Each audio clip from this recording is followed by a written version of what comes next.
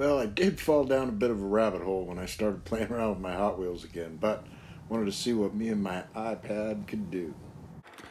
So, according to shelter in rules, using an iPad and an iPhone simultaneously would constitute a two camera shoot, so we've upped the production value already. Boom.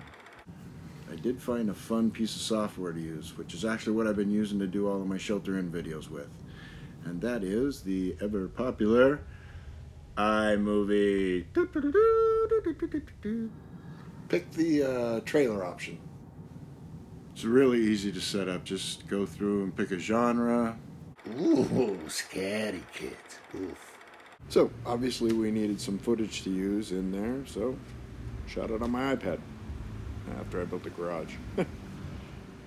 First thing it lets you do is set up the credits for your trailer.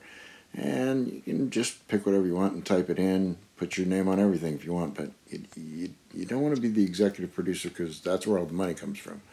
And you really don't want to be the director because it's sort of the executive producer's job to crush the director's creative dreams.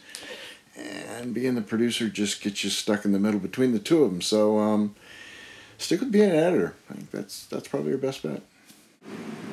Now the thing with the trailer is all the edits are predetermined, all the timing's predetermined. It just gives you little slots to plug everything in with. So it's pretty straightforward. You just uh, select one, pick a clip you want it to go in. It'll give you these cool little yellow bars that tell you what portion of your clip it's going to use. You can slide that around to pick what you want. And then you just hit the done button and it's kind of fun. It's a great project to do while you're sheltered in. If you're stuck in the house with kids, give them uh, those millions of images you've taken of them over the years. Let them put those in, make their own little trailer. Keep them out of your hair. Enjoy.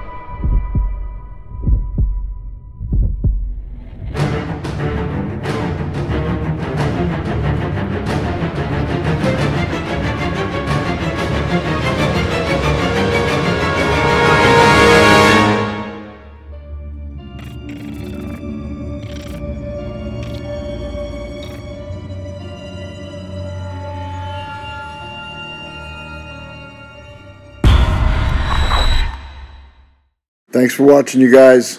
Next episode, I think I'm going to uh, stick a fender amp inside of a tractor grill. Later.